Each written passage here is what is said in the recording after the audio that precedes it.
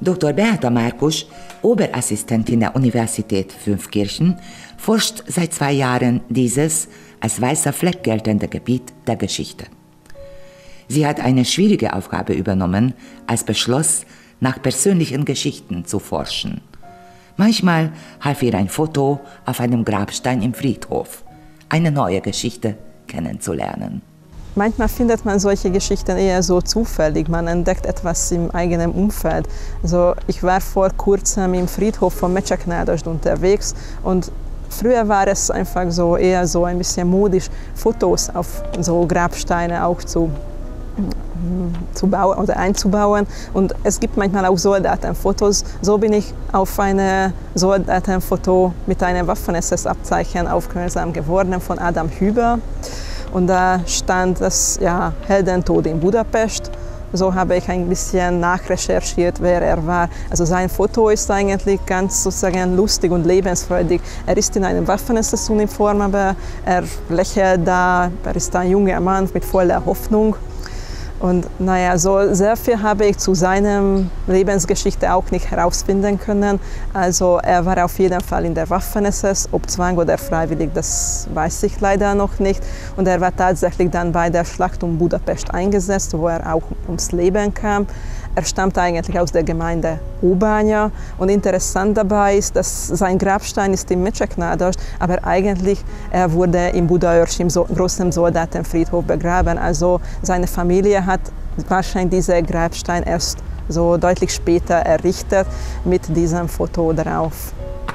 Aufgrund von geschätzten Angaben meldeten sich etwa 60.000 Personen in der ersten Kriegsphase 1942-43 freiwillig in die Waffen-SS.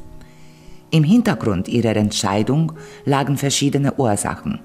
Matthias Stöckel aus Ödenburg flüchtete zum Beispiel vor der Haftstrafe.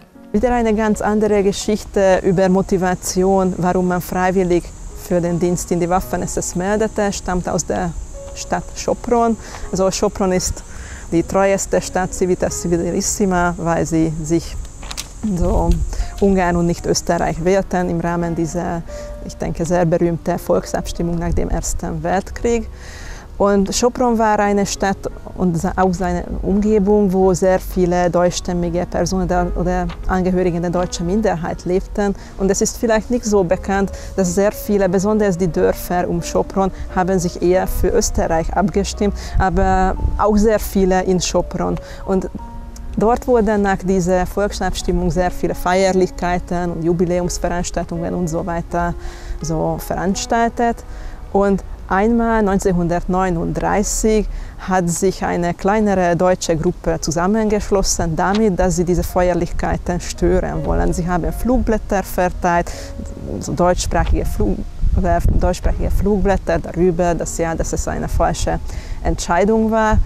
Sie wurden entdeckt und auch verhaftet. So, und der Anführer Franz Ferdinand May, der wurde auch so in bedrohte eine langjährige Haftstrafe. Deswegen hat sie einfach geflüchtet nach Österreich, das damals nach dem Anschluss schon zum Deutschen Reich gehörte, und er meldete sich freiwillig für die Waffen-SS.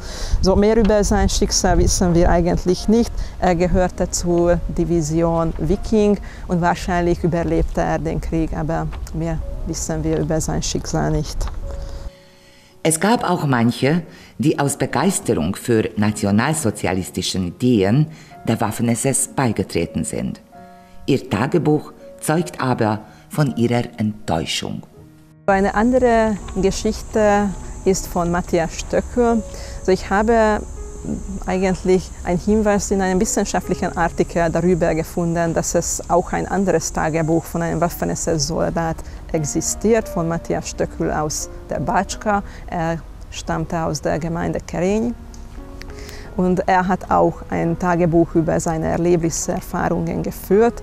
Er war eine Person, der begeistert von den nationalsozialistischen Ideen war. So, solche Personen gab es auch. Deswegen meldete er 1942 freiwillig in die Waffen-SS und er diente in Jugoslawien und in der Ostfront. Aber wahrscheinlich seine Erfahrungen machten ihn schon, so enttäuschten ihn.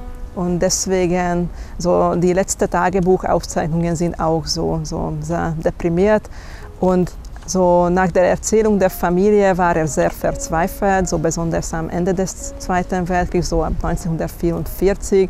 Er hat sehr viel Alkohol konsumiert und er meldete sich dann so in den letzten Kriegsmonaten äh, in der Nähe von Budapest zu einem sogenannten Himmelfahrtskommando. Das waren solche ja, Aufträge oder militärische Aufträge, wo man ziemlich sicher wissen konnte, dass man es nicht überleben wird. Und das war tatsächlich so. Also Matthias Stöckel starb da und sein Tagebuch hat dann das Familie irgendwie gerettet. Aber er hat, deswegen ist eigentlich seine Geschichte bekannt, weil er das selber wahrscheinlich hätte nicht erzählen wollen, nur dadurch, dass er im Krieg fiel, wurde seine Geschichte dann doch öffentlich gemacht. Ich habe vor, diese Forschung noch einige Jahre lang weiterzumachen und ich hoffe, dass ich auch noch mehrere solche eher persönliche, persönliche Geschichten kennenlernen werde, dass ja, auch Familien oder Personen sich melden werden, die irgendwelche Quellen oder Informationen haben, weil natürlich solche persönliche Geschichten machen diese, diese, dieses Kapitel der Geschichte schon für ja, menschlicher. Dadurch verstehen wir ein bisschen besser, welche Motivationen diese Menschen haben konnten und nicht, da kommen vielleicht dann nicht diese ganze allgemeine Urteile, dass okay, das waren alle Nazis in der Waffen-SS, weil es so nicht stimmt.